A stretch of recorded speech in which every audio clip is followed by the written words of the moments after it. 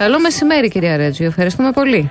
Καλό μεσημέρι. Εμείς ευχαριστούμε που μας δίνετε το βήμα, σε εσάς και τους ακροατές σας. Καταρχήν, οι πρώτες πληροφορίες λένε ότι όντως πρόκειται να έχουμε συγχώνευση, για παράδειγμα, στα νοσοκομεία Λιβαδιάς και Θήβας, στην Ηλία, αν θυμάμαι καλά, στην Αργολίδα και στο Λασίδι. Είναι έτσι, επιβεβαιώνονται, προχωράνε τέτοιες, γίνονται τέτοιες κινήσεις, κυρία Ρέτζιο. Εντάξει, από ό,τι φαίνεται η κυβέρνηση το είχε από καιρό στα σκαριά της αυτό το, το σχέδιο ε, του νοσοκομιακού όπως τον ονομάζει ε, εξορθολογισμού. Ε, και αυτό τη στιγμή που, που η ε, πανδημία συνεχίζεται ακάθεκτη και όλοι βλέπουν ένα, μια νέα έξαρση το πότε θα παρατηρηθεί αυτή τον επόμενο μήνα, τον Αύγουστο, τον Σεπτέμβριο.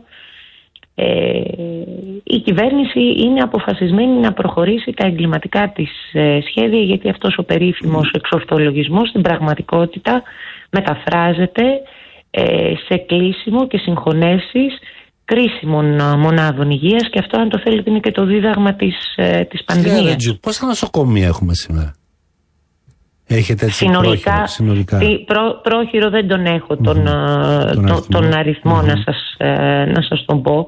Αλλά ποιο είναι το κριτήριο γιατί αυτό νομίζουμε εμείς ότι, ότι έχει αξία. Ποιο είναι το κριτήριο της, ε, της κυβέρνησης το κριτήριο της πληρότητας και της χιλιομετρικής απόστασης. Να και λέω ότι στα Γιάννα για παράδειγμα υπάρχουν δύο νοσοκομεία το Πανεπιστημιακό υπάρχουν δύο το... νοσοκομεία ναι. ακριβώς. Ε, γιατί να μας πει βέβαια η κυβέρνηση με...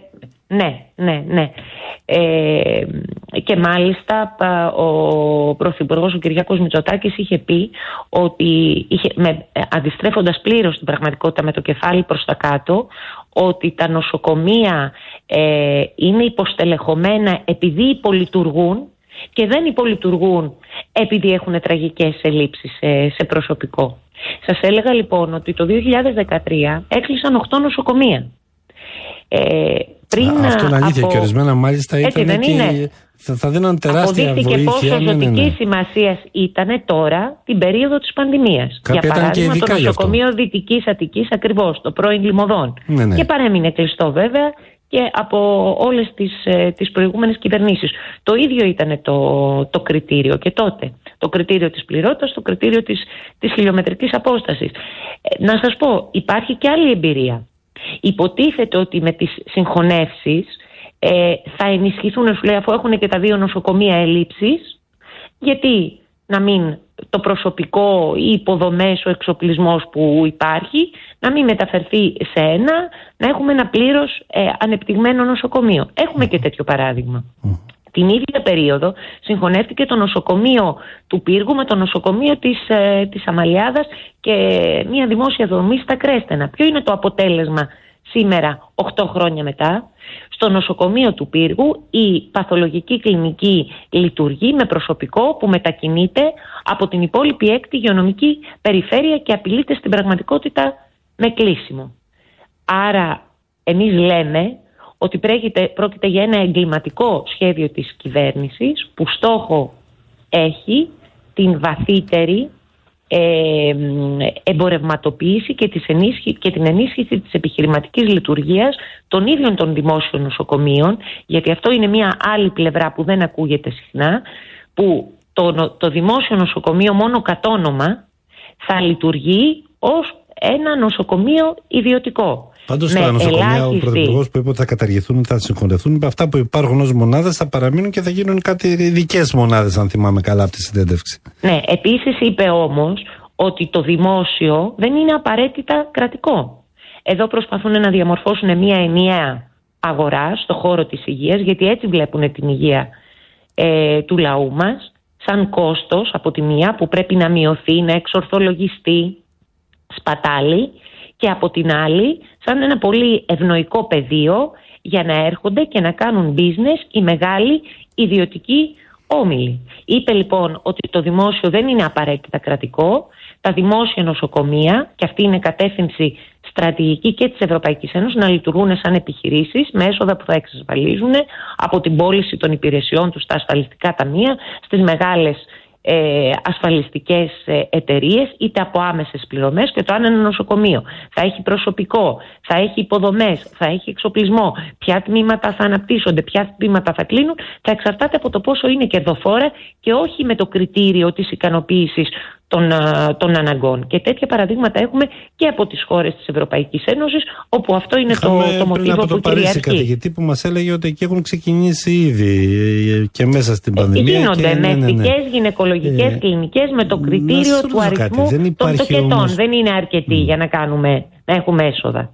Αυτό ρωτήσω, είναι το σχέδιο. Να ρωτήσω κάτι όμως. Από την άλλη πλευρά τα νοσοκομεία λειτουργούν σαν να είναι πρωτοβάθμια φροντίδα περίθαλψης. Ένα παραμικρό πρόβλημα. Να δεν έχεις που να πας, πας στο νοσοκομείο. Αυτό δεν είναι ένα πρόβλημα. Δεν χρειάζεται εκεί έναν εξορθολογισμό. Ας, ας, όχι, δεν χρειάζεται εξορθολογισμός. Αυτό που χρειάζεται είναι η αποφασιστική ενίσχυση όχι μόνο των νοσοκομείων, αλλά και της πρωτοβάθμιας φροντίδας υγείας.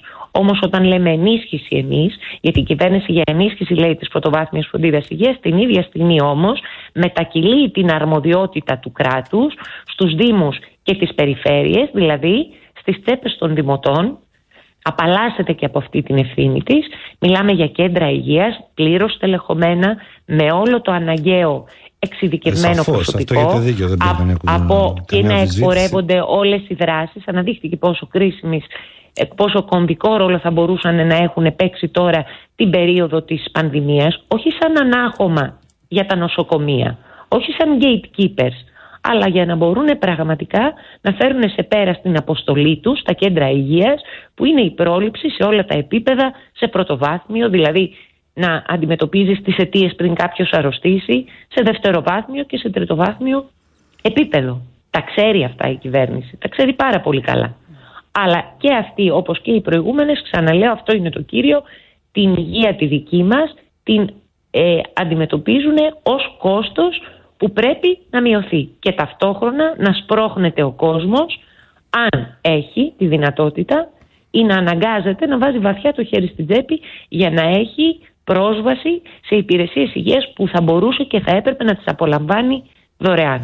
Κυρία Ρέτσιο, είναι... ξέρουμε αυτές οι αλλαγές σε τι βάθος χρόνου θα γίνουν; Από ό,τι φαίνεται ε, έχει δοθεί το, το, το εναρκτήριο λάκτισμα για αυτή την ε, την, ε, την επίθεση. Γι' αυτό και εμείς είμαστε σε, ε, σε ετοιμότητα, σε μια και ήδη δηλαδή προγραμματίζονται δράσεις και αγκαλιάζονται, μπαίνουν μπροστά ε, τα σωματεία των υγειονομικών, τα σωματεία των εργαζομένων στα δημόσια νοσοκομεία. Οι τοπικές κοινωνίες θα μπουν, γιατί κανένας δεν θέλει να κλείσει ένα νοσοκομείο Μπαίνουν μπροστά ναι. οι ίδιοι οι ίδιοι ασθενείς. Για παράδειγμα, λένε το νοσοκομείο της Δράμας απέχει από το νοσοκομείο της Καβάλας 25 χιλιόμετρα. Να το κλείσουμε; Έφτανε να νοσηλεύει την περίοδο της, ε, της πανδημίας της έξαρσης του δεύτερου κύματος μέχρι 150 ασθενείς. Πού θα πήγαιναν αυτοί οι ασθενείς; Γιατί αν είναι έτσι όπως μας το λένε, δεν θα μετακινούσαν προσωπικό από τα νοσοκομεία της Αθήνας και του Πειραιά όπως κάνουν και τώρα σε περιφερειακά νοσοκομεία αν είναι περιτά και πρέπει να κλείσουν. Και το κάνουν ακόμα και τώρα. Μετακινούν αναισθησιολόγους και τους πάνε στο νοσοκομείο των Σερών. Μετακινούν αναισθησιολόγους και τους πάνε στην περιφέρεια. Αν δεν χρειάζονται αυτά τα νοσοκομεία, όπως είχε πει ο, ο Πρωθυπουργός, και ε, είναι υποστελεχωμένα γιατί επαναλειτουργούν, γιατί μετακινήσανε προσωπικό για να τα στελεχώσουν. Έχετε μία Είναι λογική να διαθέτει κανείς. Ε, πού ξεκινάει, ποια νοσοκομεία είναι στο βασικό στόχαστρο, κυρία Ρέτζου. Ε, μόνο από τις, ε, από τις ε, διαρροές ε, ξέρουμε. Για παράδειγμα, είναι στο στόχαστρό τους Θήβα Λιβαδιά.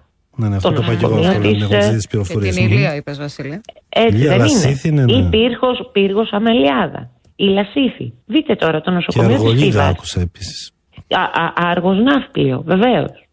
Αλλά σας λέω για το παράδειγμα της, ε, της Θήβας. Βιομηχανική ε, περιοχή, ε, κοντά στην εθνική mm-hmm. οδό, αλλά να σας πω και μπορεί να είναι το κριτήριο χιλιομετρική απόσταση και το θριάσιο νοσοκομείο που έχει 17 χιλιόμετρα από το Αττικό που είναι και πανεπιστημιακό. Να το κλείσουμε; Ενώ βρίσκεται, ε, διαθέτει, βρίσκεται στην καρδιά μιας βιομηχανικής ζώνη. Να δούμε και τι ε, πληθυσμό εξυπηρετεί ένα νοσοκομείο και Μα μάλιστα και σε όταν... συνθήκες καλοκαιρινές που μπορεί μια περιοχή να υποδέχεται και τουρίστες. Οπότε να είναι ακόμα περισσότερο. Όλε τις παραμέτρους στο κριτήριο, αυτό ακριβώς. Γεωγραφικές, πληθυσμιακές, ε, την οικονομική δραστηριότητα της κάθε Η χώρα μας έχει και έναν άγλυφο γεωγραφικό που Βέβαια. μπορείς με βάση τα χιλιόμετρα. Δηλαδή αν έχεις ε, ε, περιοχές δυσπρόσιτες, ορεινοί όγκοι ή από τη θάλασσα κτλ. Πρέπει να τα δει κανείς αυτά ολοκληρωμένα, αλλά δεν θέλει να τα δει η κυβέρνηση. Γιατί άλλο είναι το κριτήριο στο σχεδιασμό της και άλλη είναι η στοχευσή της. Κυρία Ρέτζιο, θα έχουμε τη δυνατότητα να τα ξαναπούμε. Θα ζητήσουμε και την άποψη του αρμόδιου Υπουργείου για να δούμε τι σχεδιασμούς έχουν. Και, θα δούμε και τις τοπικές κοινωνίες, θα το παρακολουθούμε. Και Λοιπόν, σας ευχαριστούμε πάρα πολύ, κυρία Ρέτζιο. Και εμείς σας ευχαριστούμε. Καλό σας απόγευμα. Καλή συνέχεια.